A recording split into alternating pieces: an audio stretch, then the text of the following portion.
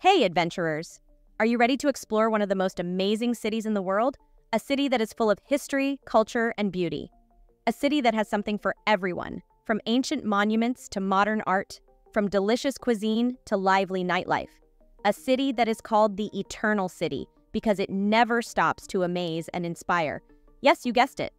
We are talking about Rome, the capital of Italy, and the heart of the Roman civilization. In this video, we are going to show you the top 10 things to do in Rome, and a bonus place that will blow your mind. So, buckle up and let's go on a journey to Rome with the Global Adventures. Number 1. Trevi Fountain.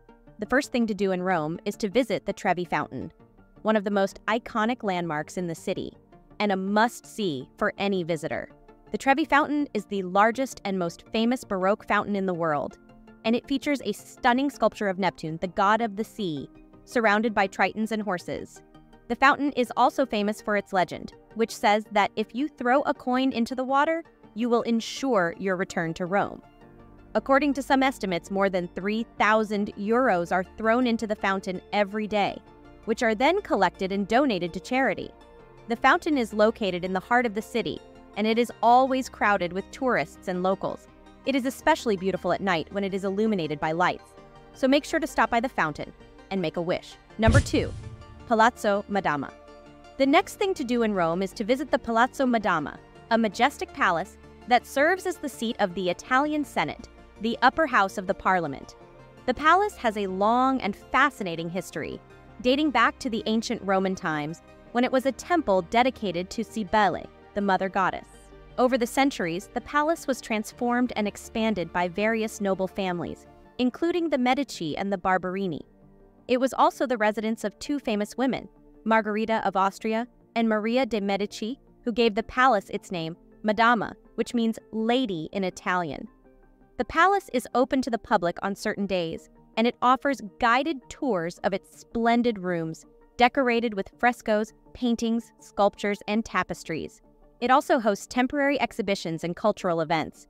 So, if you want to see a glimpse of the Italian politics and art, don't miss the Palazzo Madama. Number 3. Piazza Navona. The third thing to do in Rome is to visit the Piazza Navona, one of the most beautiful and lively squares in the city, and a favorite spot for locals and tourists alike.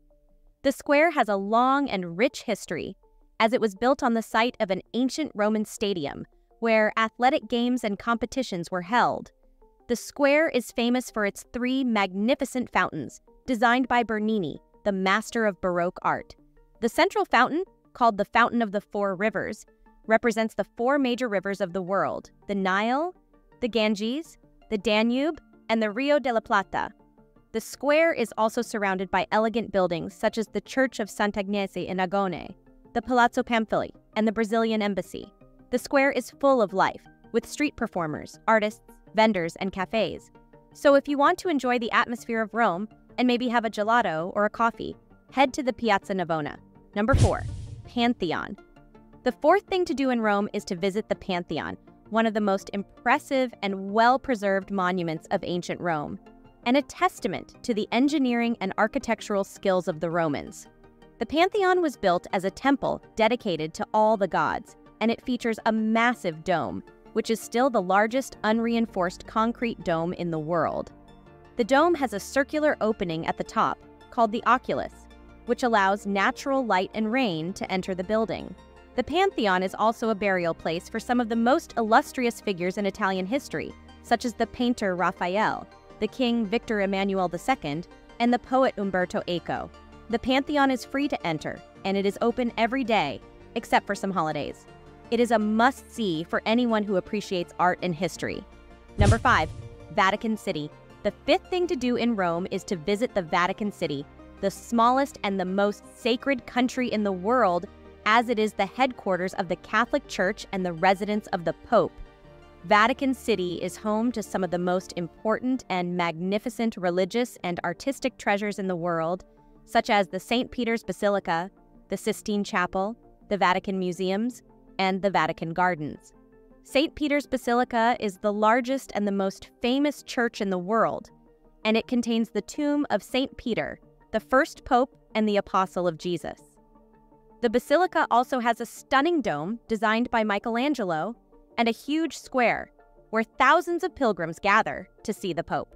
The Sistine Chapel is the most famous chapel in the world, and it is where the cardinals elect the new Pope.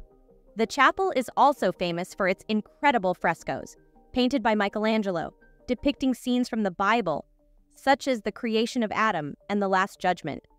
The Vatican museums are one of the largest and the most visited museums in the world, and they contain a vast collection of artworks, from ancient to modern, collected by the popes over the centuries.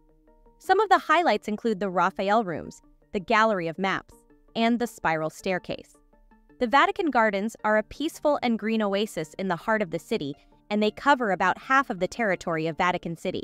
They are full of fountains, statues, flowers, and trees, and they offer a stunning view of the dome of St. Peter's Basilica. To visit the Vatican City, you need to buy a ticket online in advance and dress modestly as it is a holy place.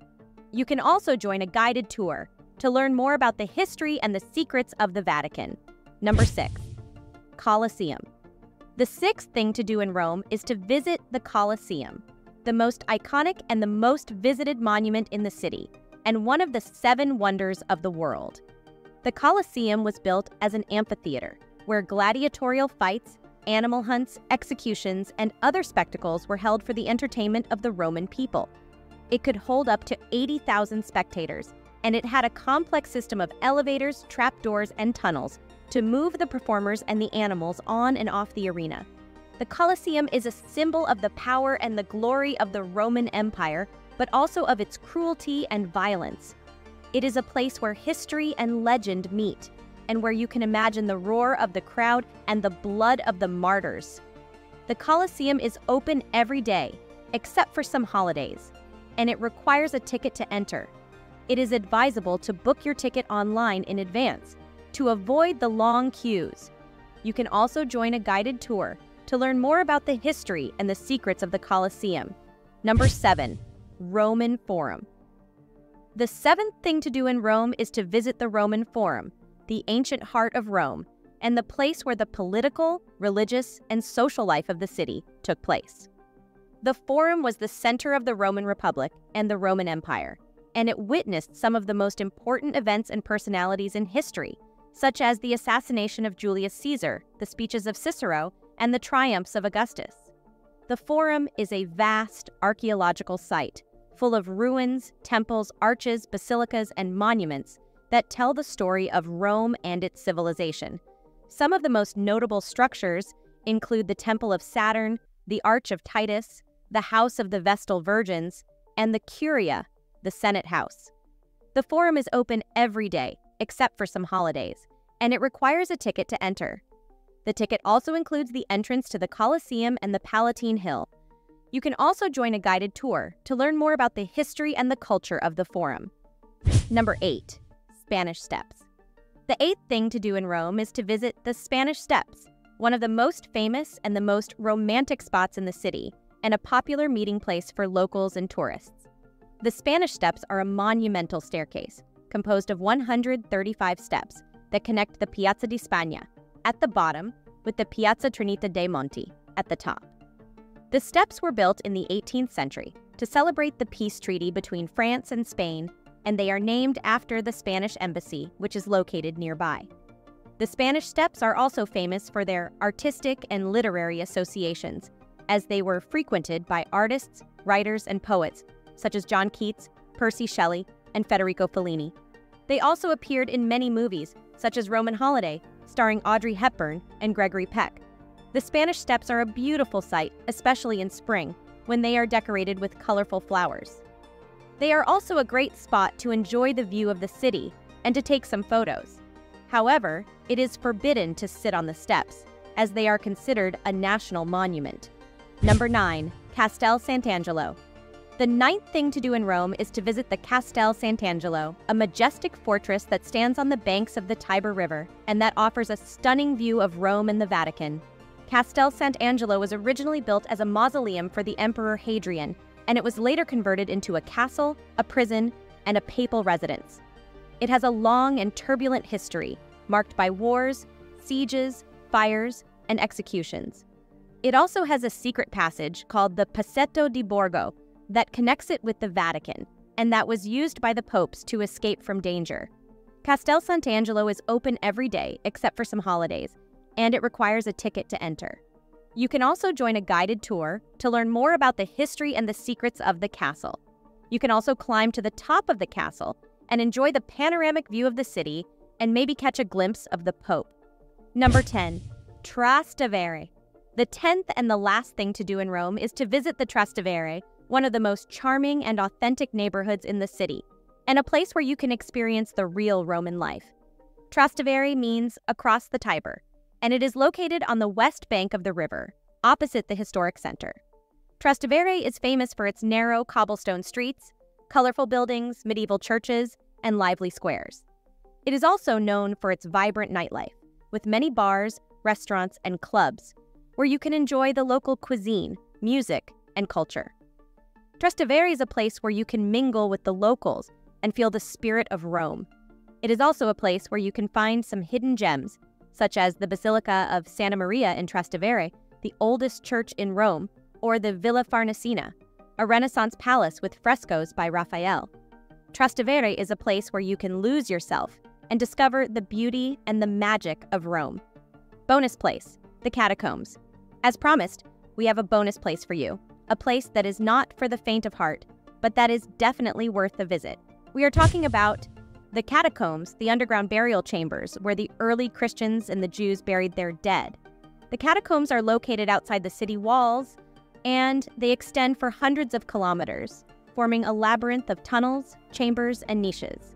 The catacombs are a place where you can see the ancient art, symbols, and inscriptions that reveal the beliefs and the traditions of the people who lived in Rome.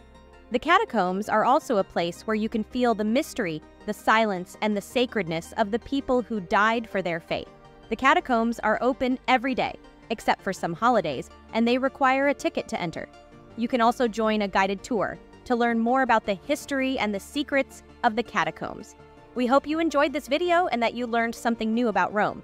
Now we have some questions for you. What are the things that you would like to do in Rome? What are the things that you have already done in Rome? What are the things that surprised you the most about Rome? Let us know in the comments below and share your thoughts and experiences with us. If you like this video, please give it a thumbs up and subscribe to our channel, The Global Adventures, where we explore the world and share our tips and experiences. We have more videos coming up about other amazing destinations, so stay tuned and don't miss them. Thank you for watching and see you next time on The Global Adventures. Ciao!